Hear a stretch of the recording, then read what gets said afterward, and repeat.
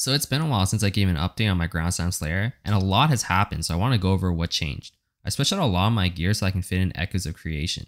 This helmet gives an insane amount of damage, so I switched my gloves, belt, and boots to have more resistance, so I'm still capped. My boots now have a chance to avoid shock, and together with another Abyss Jewel on the Stygian Vise belt, I now have a 100% chance to avoid shock, which, paired with the Storm Shroud Jewel, gives me immunity to all elemental ailments.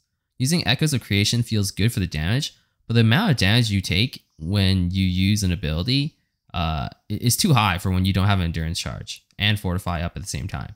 So at the beginning of the map, it's sort of scary. So what I did was instead of using the fortify nodes, I picked up a Forbidden Flesh, Forbidden Flame setup where it gives me permanent fortify and the build still feels really tanky. You can see I'm running these pretty rippy maps and for the most part, I'm sort of tanking it. So yeah, the, the build feels pretty good uh, even though my HP is really low. Uh, I'm still working on getting better gear, but honestly, for, for what I have, it feels, feels alright. The biggest change I've made is actually switching from a ground slam setup to earth shatter. Normally you would switch to earth shatter for single target damage, but with the helmet, I feel like you do enough damage already, so what I did was I dropped Infernal Cry, put in a General's Cry linked with automation. General's Cry doesn't really do anything, but what matters is that it's a short cooldown war cry that can shatter the shards from Earth Shatter. This way, I don't have to manually cast War Cries for consistent damage since it'll automatically cast like every 1.4 seconds or something, which makes this feel not like shit to play. Let's talk mapping strategies. Whenever I had to make currency, I've been running Harbingers, and I think this build does it pretty well, since it can sit near the Harbingers. Uh, so if you're playing Ground Slam or Earth Shatter, I'd recommend you at least give it a try. Uh, but the only caveat being, uh, you'll make no currency unless you hit it big.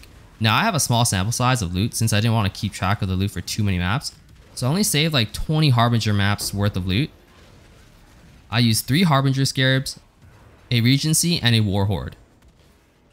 I'll oversimplify the cost, but assuming Regency and Warhorde Scarabs are 50C, and this will include the chisel cost and the map, because I'm just running whatever drops. Uh, Harbinger Scarabs are 5C each, uh, Anarchy Craft is 4C, uh, then we're looking at about 69C a map.